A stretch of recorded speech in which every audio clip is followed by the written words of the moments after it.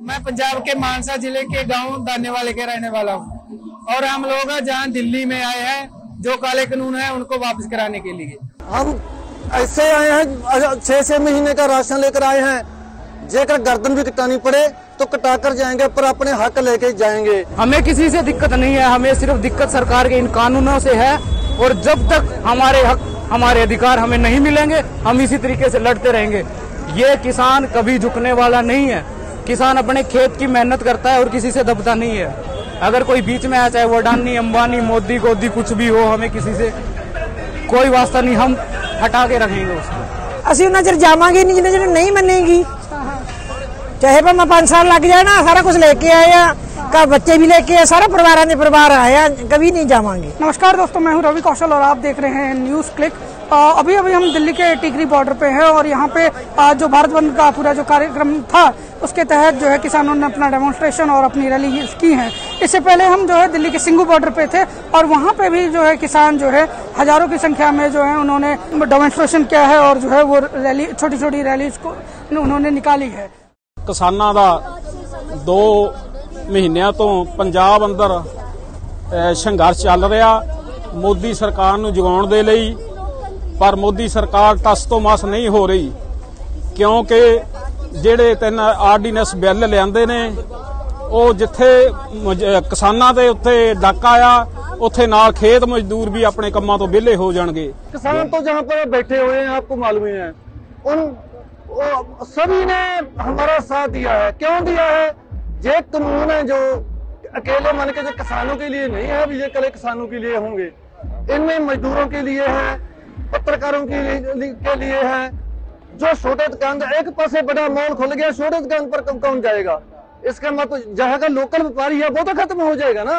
देखिए ये जो आंदोलन है ये जन आंदोलन है देश को बचाने का आंदोलन है पूरे देश का कारोबार कंपनियाँ समेट रही हैं और पूरा देश गरीबी के आगोश में जा रहा है। उन्नीस से पहले अंग्रेज़ों की पॉलिसी थी कि हम जो कहेंगे वो आप लोग अपने खेत में बोओगे। हम जो कहेंगे तब आप हम, हमें फ़सल बेचोगे। हम जो दाम तुम्हें देंगे उसी दाम पे तुम्हें फ़सल बेचनी है। ये उन्नीस से पहले था। 1950 में हम लोकतांत्रिक देश बने हमें हमारे कुछ अधिकार मिले। आज के इस दौर में जो सरकार ने हमें वादे किए थे कि हम किसानों के लिए ये करेंगे आय दोगुनी कर देंगे। 2014 से बीजेपी ने 2014 में जो वायदे हमें किए थे उससे आज छह साल बाद जब कुछ देने का वक्त आया कि आपने छह साल में किसानों का कोई हाल नहीं पहुँचा। आप उनको किसानों की याद आई, तब क्या कहते हैं कि, सर, हम आपके लिए तीन एडवांस्ड ऑर्डिनेंस लेके आए हैं, तीन एडवांस्ड आर्टिकल्स हम आप लोगों के लिए लेके आए हैं एक्ट्स इसमें आपको ये फ़ायदे होंगे, ये होंगे। जबकि वास्तविकता ये है कि वो उन्नीस पहले वाला किसान अब दोबारा बनाने का वो प्रयत्न कर रहे हैं। 2014 में इन्होंने क्या कहा था? नरेंद्र मोदी जी के बयान है और ये कृषि मंत्री था धनखड़ जी इन्होंने भी कपड़े निकाल निकाल गए। जैसे ही हमारे नरेंद्र मोदी जी सत्ता में आएँगे, पहली कलम से किसानों का कर्जा माफ़ और स्वामीनाथन की रिपोर्ट लागू करेंगे। कहाँ गए भाई? वो छह साल हो गए। हमने तो स्वामीनाथन की रिपोर्ट मांगी थी। स्वामीनाथन की रिपोर्ट दो ना। और ये ये तीनों अध्यादेश तो हमने मांगे नहीं, इसका एक भी फ़ायदा नहीं। तीनों कानूनों के हिसाब से जो अब लागू हो गए हैं, उनके हिसाब से सरकार चाहती है कि एग्रीमेंटल एग्रीकल्चर करके हम वो खेती बोए, जो वो चाहते हैं। सरकार चाहती है कि एपीएमसी हटा के जहाँ जितने दाम पे वो खरीदना चाहे अनाज, वो खरीदे। साथ में सरकार चाहती है कि जो दाम हम दे वो दाम ही तुम लोग नहीं। ईस्ट इंडिया कंपनी ने सारी दुनिया को, सारे मुल्क को गुलाम कर दिया था। ये ईस्ट इंडिया कंपनी है, दूसरी दूसरी जो मोदी शाह, अमित शाह है। हमारी बात सुन ले। हम हम ज़मीन का एक इंच भी किसी को नहीं देंगे, हम मर जाएँगे।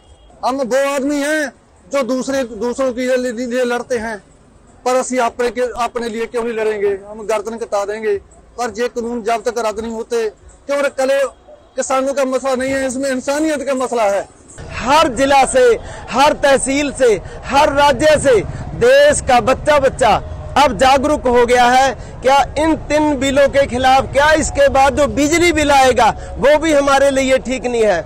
हमारे ऊपर एलिगेशन लगाए जाते हैं। क्या ये किसान पराली जलाता है? उससे ज़्यादा तो प्रदूषण दिल्ली में ही हर चीज़ का है।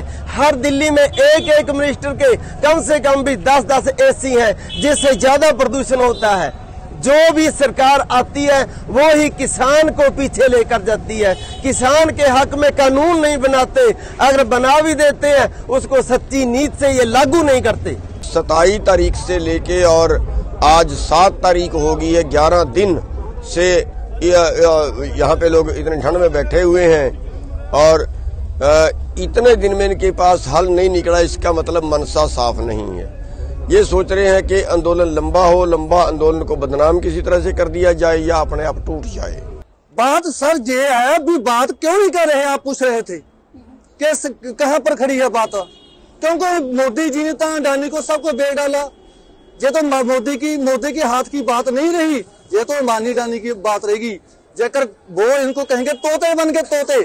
भारत बंद में हम ये चाहते हैं कि मोदी को मैसेज आए कि भारत के लोगों में आपके प्रति इतना गुस्सा है कि लोग भारत बंद क्या भारत बंद से भी ऊपर उठकर अब तो कुर्बानियां देने के लिए भी तैयार है हिंदुस्तान का किसान मजदूर और दुकानदार व्यापारी सभी वर्ग इससे दुखी हैं ਜੇ ਦਾਮ ਮਿਲਦਾ ਨਾ ਫਿਰ ਸੜਕਾਂ ਤੇ ਕਿਸਾਨ ਸੜਕਾਂ ਤੇ ਨਹੀਂ ਸੀ ਰੋਲਦਾ ਬੀਬੀਆਂ ਭੈਣਾਂ ਨਹੀਂ ਸੀ ਰੋਲਦੀਆਂ ਬੱਚੇ ਨਹੀਂ ਸੀ ਰੋਲਦੇ ਜਿਹੜੇ ਵਿਚਾਰੇ 80 80 ਸਾਲ ਦੇ ਨੇ ਬਜ਼ੁਰਗ ਉਹ ਨਹੀਂ ਸੀ ਰੋਲਦੇ ਇਸ ਵਾਸਤੇ ਹੁਣ ਮੋਦੀ ਮੋਦੀ ਨੂੰ ਕੰਨ ਹੋ ਜਾਣਾ ਵੀ ਹੁਣ ਜਾਂਦੇ ਨਹੀਂ, ਤੇਰੀ ਹਿੱਕ ਤੇ ਡੇਰੇ ਲਾਵਾਂਗੇ।